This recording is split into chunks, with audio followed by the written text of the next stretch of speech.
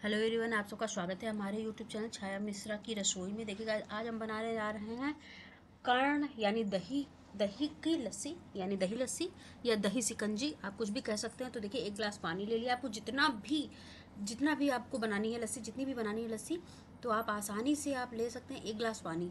और उसमें आप चीनी ऐड कर दीजिए। चीनी ऐड करने के बाद इसको घोल लीजिए, क्योंकि अगर आप सारे पानी में आप घोल लेंगे ना तो आपको आइस की ज़रूरत होगी, ठीक है? इस समय मौसम ऐसा नहीं है कि आप बहुत ज़्यादा आइस वगैरह का इस्तेमाल करें।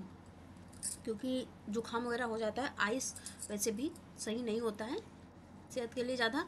तो क्या करना है, हमने देखिए घोल लिया है, एक गिलास अपने दही में, एक गिलास पानी में चीनी घोल लिया अब आपको जितनी गिलास बनाना है दही, जितनी ग्लास सिकंजी बनानी है, आप उतना पानी ऐड कर लीजिए, ठीक है?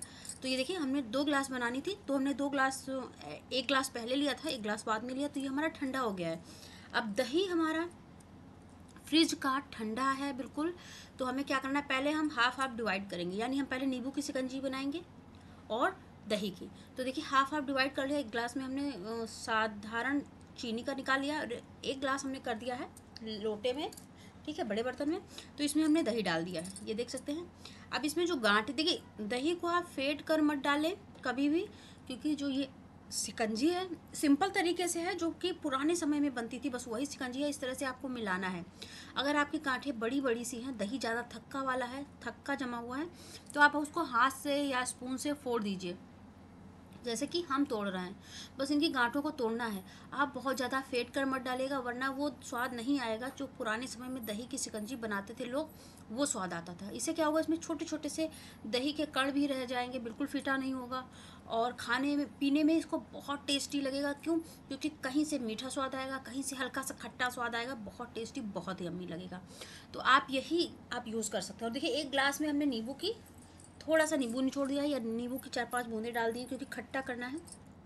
तो देखिए, ये चीज़ें इस समय गर्मी में पीनी चाहिए आप लोगों को, जिससे कि आपकी बहुत सारी बीमारियों को भी दूर करता है, जैसे कि पेट में गर्मी नहीं बनेगी, आपका माइंड फ्रेश रहेगा और आप एनर्जेटिक फील करेंगे क्योंकि इसमें पानी की मात्रा ज़्यादा है, आपके शरीर में पानी की मात्रा अच्छे से पहुँच जाएगी। तो आई होप आपको ये रेसिपी पसंद आ रही होगी तो हम आप लोगों को याद दिला दें। अगर आपको रेसिपी पसंद आ रही है तो प्लीज़ लाइक करिएगा।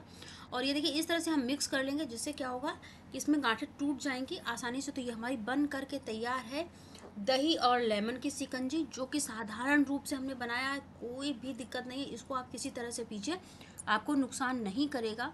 तो आई होप आपको ये रेसिपी पसंद आई होगी। अगर पसंद आई है तो please like subscribe and share करिएगा। जिससे कि हमें मोटिवेशन मिलता है। प्लीज़ कमेंट करके ज़रूर बताइएगा कि हमारी ये छोटी सी रेसिपी आप लोगों को कैसी लगी। देखिए, क्योंकि हम आप लोगों के लिए नई नई सी रेसिपी सेहत वाली लाते रहते हैं। तो चलिए मिलते हैं नेक्स्ट डे नेक्स्ट रेसिपी के साथ। बाय